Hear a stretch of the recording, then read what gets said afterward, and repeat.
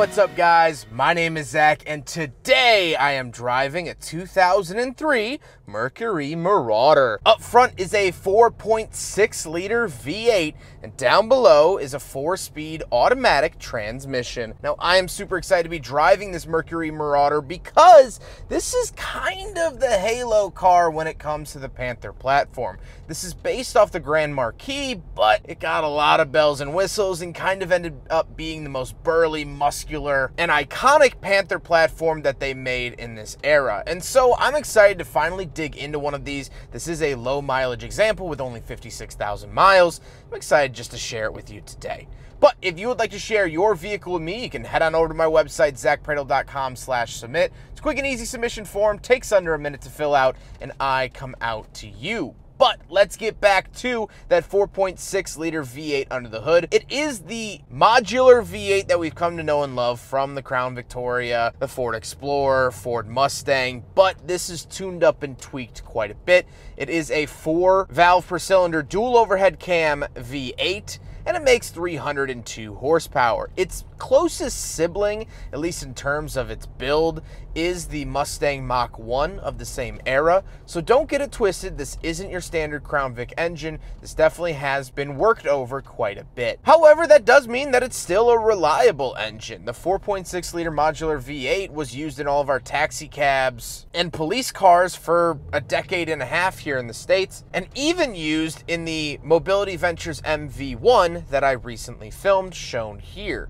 So it's a very solid engine. Like I said, paired to it is a four speed automatic. Now the four speed actually varies between 2003 and 2004, at least in transmission code, but they're gonna be very similar and this one is doing a fine job. I don't have any complaints. Last but not least about the drivetrain, the Marauder is rear wheel drive and the Marauder gets a limited slip differential along with an aluminum drive shaft to help cut down on that rotating mass to get more power out to those rear wheels. So how's it feel to drive the Mercury Marauder? Well, it does still drive like a Panther platform. It's big, but it's not as floaty as the other Panthers. This has an agenda. This has an idea of where it wants to go, where the other Panther platforms are just kind of la la la la la la la. No, this has an idea of what it wants and it goes out and gets it. Visibility out the front is great. Out the rear isn't amazing, but that's fine. Steering is a lot more direct than what you would find in a more comfortable Panther like the Lincoln Town Car or Grand Marquis. And overall, it just it, it feels more serious than those other vehicles. That's my biggest takeaway.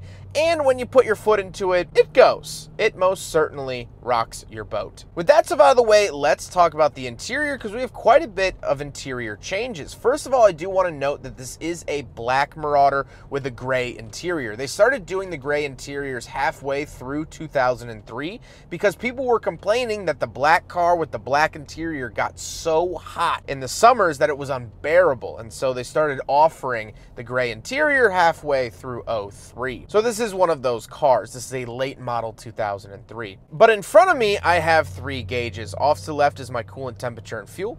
In the center is my speedometer, and off to the right is my tachometer. Very rare to find tachometers here in the Panther platforms. On the steering wheel, on the left, I have my cruise control options. And off to the right, I have my next volume, fan speed and temperature, which I dearly miss having climate controls on steering wheels. I think it's a fantastic idea and very, very useful. This is, however, the just standard Mercury Grand Marquis steering wheel. So you have these really low slung grips. I wish that they would have given it something a little bit more sporty, maybe a cool three spoke or something like that. But hey, I'm not the lead designer at Mercury. Thank God, because I'd be out of a job. Off to the left, we do have our headlight switches engaged, dimmer switches, as well as a climate control vent. We have our pedal adjustments and traction control off. And moving out of the door, we have our power seat options along with our heated seat options. Very nice to see that. And then we have our power mirrors, power windows, and power locks down below. Up top, we do have a compass. We have our lights very cool to see that. And we have our garage door opener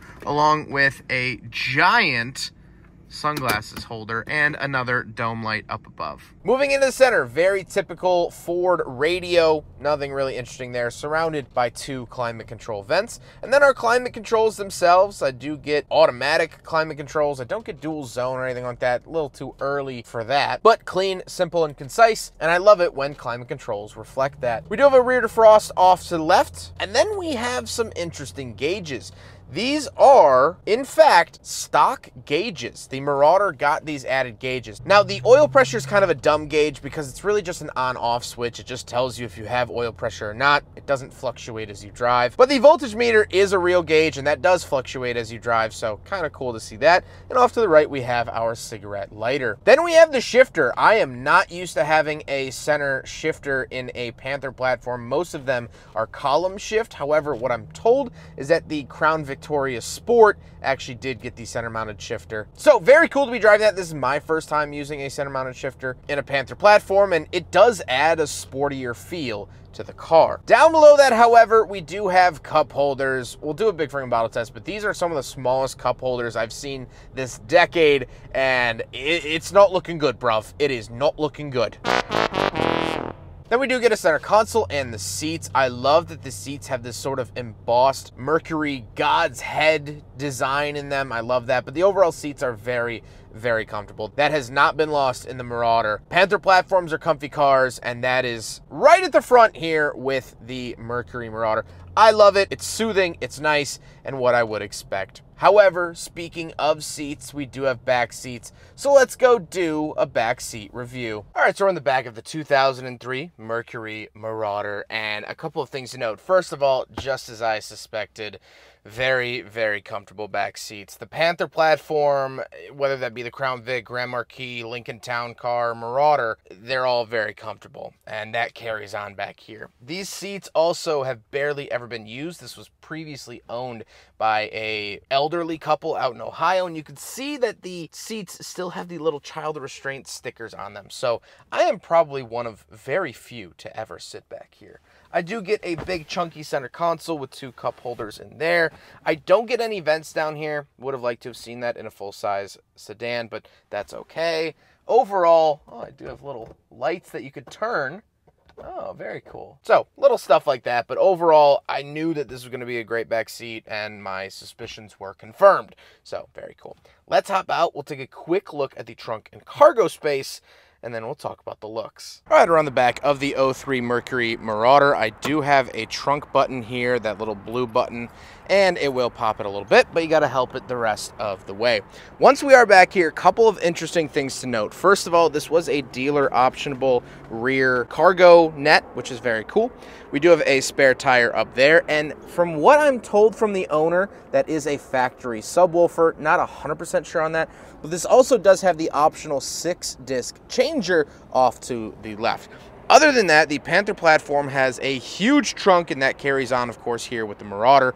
Love to see that. Just tons and tons of space. Really, really happy with how this Marauder is spec'd. This is not factory, by the way. However, the owner did that chroming, and I really love it. But overall, tons of space in the back of the Mercury Marauder. Now we gotta talk about the looks, and like I said, this is a black Marauder. However, they did sell them in a few very limited colors of silver, red, and blue. Blue is going to be the most rare, if I remember correctly, but really any color besides black is gonna be the most rare. I love the look of the Marauder. I love how serious it is and how dark it is, and the, just the name Marauder and you see this big black sedan pull up, I think that's incredibly cool, incredibly daunting, and I wish that a couple more cars of this era had that sort of edge to it, that sort of stomach pit feeling when they pull up outside your house. If you owe someone a lot of money and you see a blacked out Marauder pull up, it's going to be a rough night. And that to me is really cool. I do want to note one more thing, or actually a couple more things with the exterior. First of all, the taillights are the darkest tinted taillights that the DOT would approve of back in 2003. So this is the darkest the taillights could ever be and still be legal, which I love that Mercury did that. They said, all right, how dark can we go? Make it that and I love that. But the other thing is that the wheels are a square setup. However, the rear tires are actually larger from the factory, a little bit wider, a little bit taller. I think they knew that you were going to get up to some tomfoolery in these cars, so they gave you a little bit extra rubber underneath. But with all of that being said, let's get on to my final thoughts. What do I think driving a Mercury Marauder? Long time coming, never driven one, and was very excited to do so. Well, it's very cool. Uh, first of all, I love all the added sporty features features. I love the center mounted shifter. I love the blacked out package, the sport exhaust from the factory, that hopped up hot rod engine. I love all of that together. But I think the biggest thing is what this car meant to the Mercury company. You see, Ford wasn't stupid, and back in the early 2000s, they knew that Mercury's days were numbered. What used to be one of their flagship brands back in the 60s, when the Marauder name actually started, had now formed into badge engineered slop. I mean, take a look at the Mercury Milan. It's a warmed over Ford Fusion with maybe one extra box checked. That car is lame, boring, and I pity whoever has to drive them. So they knew that they were going to go out of business. Mercury didn't just fall out of the sky. And so they wanted to not only commemorate 40 years since the Marauder name came about here in 2003, but they wanted to give Mercury one last job one final firecracker in their lineup. Something that they could be proud of, and when they finally hung up their hats, they could smile and say, you know what? At least we did that. And the Marauder was that car. It's aggressive it is the last cool Mercury ever made, in my opinion, because this car actually has character. It feels like it has a personality. Now, it feels like that personality wants to strangle me and hold me down, but it has personality where the rest of their lineup failed to ever have. I would much rather hang out with someone who's angry all the time than someone that has no opinion or preference on anything ever. Is there anyone worse in your life than the people that go, I don't know, whatever you want. Where do you want to go to dinner? I don't know. Sure, whatever works. I don't care. It's fine. What do you want to do today? I don't know. Those people suck. Well, that's not the Marauder. The Marauder says, hey, we're going to dinner tonight. 5 p.m., Giordano's. All right, be there. Wear something nice. And you go, okay, yeah, I'm gonna throw a collared shirt on. I'm gonna go get some Giordano's tonight, huh? That's what this car feels like. It's rough around the edges. It doesn't play no joke, but I like that. And I miss when cars were like it. I hope you guys enjoyed the video. Huge thank you to Michael for letting me take out his Mercury Marauder. I was so excited to do this video. I've been wanting to film a Marauder for so many years, and then he emailed me. He had such this pristine version of it, 56,000 miles. You really love to see it. Michael's been absolutely awesome to work with, and I hope to work together again in the future. But I hope you guys enjoyed the video. Don't forget to rate the video, comment on the video, and subscribe if you really liked it. Take care, guys.